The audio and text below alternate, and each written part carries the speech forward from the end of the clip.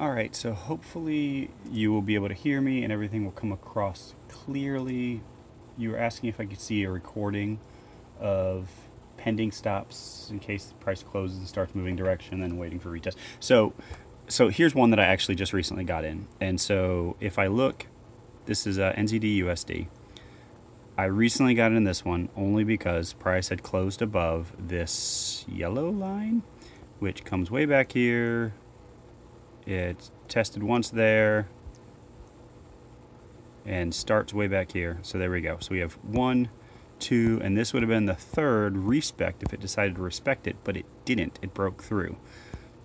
So I came in with a little bit steeper green line and I had, I mean, I missed the original break, which would have been, um, let's see if I can point this out, which would have been this right here that would have been the original break right there. And I would have gotten in. Now, from what Butch has talked about, is if you get a breakout like that, maybe instead of immediately getting in, putting a pending stop, a, a, yeah, like a pending buy stop, just a little bit above where that candle's at, just in case it decides to take off. If it's really gonna like just rocket, you'll be in the trade. If it doesn't trigger it and pulls back for a retest, well, then you would close that pending stop and you'd actually get in on the lower retest level. So you'd actually get a better price. In theory, it all depends on what price is actually doing. So, like me, I had missed this trade and I got back to the markets, was finally able to look at it and go, okay, you know what? If I was in this trade, this would have been my original entry right there, right after that candle closed.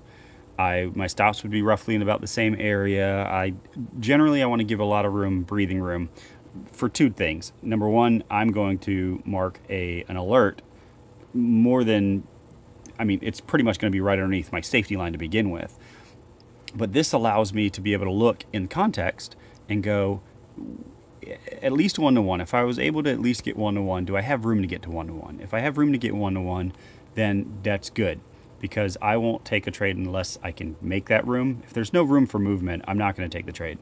And so that's probably the only like caveat to taking every trade that breaks is if if it looks like I'm going to meet some resistance, so like the next trend line's way up there.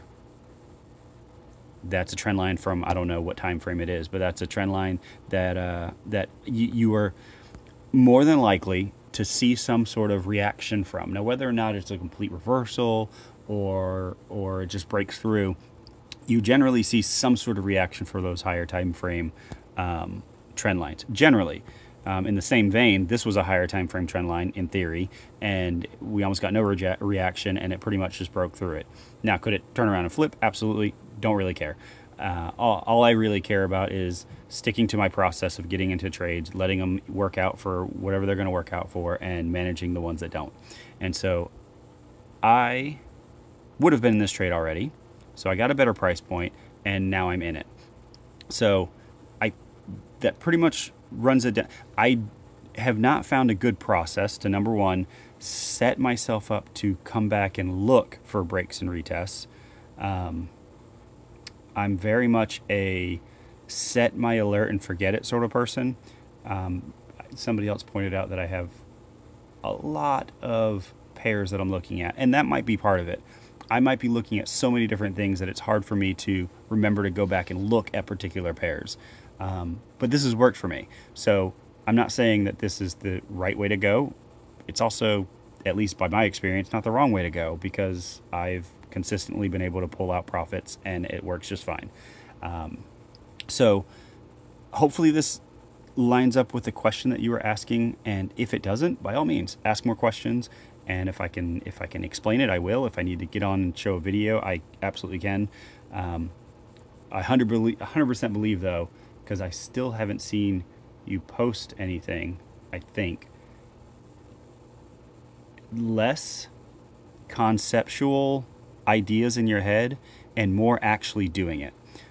A lot of your questions may be answered through experience and actually doing it, messing up from time to time and doing something wrong or getting into a trade that you look in hindsight is like, oh, I shouldn't have been in that trade based upon, it. you know, like all that is going to teach you far better than you looking at um, our stuff uh, idea and throwing out ideas without actually implementing any of it.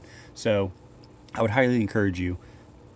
I don't care. It doesn't matter what instruments you're you're planning on trading. Just grab one, start marking it up, and and annotating. Although you did say that you start off on the four hour and you wait, so you actually you it does sound like you are doing stuff. Um, I just haven't seen anything, and maybe I've missed it. Maybe I just haven't been paying attention. Uh, I, don't, I don't know. Maybe it's Maybelline. Either way, uh, I yeah, show some of your stuff. Your process sounds valid. Starting off on the four hour, hits the trend line, price action, you're waiting for support and resistance, go down to the one hour, go down to the 15 minutes, like all of that. If that's your process, go for it. Like that is, it's beautiful. As long as you can consistently do it, you're bound to learn something from it that'll help you in the future. And so just make sure you're staying consistent. Like you told me that's your process, but I've come time and time again to particular traders that tell me their process and then come to find out through their journaling or through future conversations, they don't actually stick to that process. So make sure you're sticking to that process. If that's truly what it is, stick to it. Do it consistently, repeatedly, because that will remove part of the what ifs or the unknowns out of it. If you're consistently doing the same thing, you can then start seeing the key elements that make things work or work or generally work over time versus the ones that don't. And then you can start trimming out and adding to and things of that nature. But if you are flip floppy on your process, I, there's it's going to be really really hard to find consistent profits if you're not being consistent. So, sorry for that rant. Um, but like I said, if you have any questions, by all means, reach out.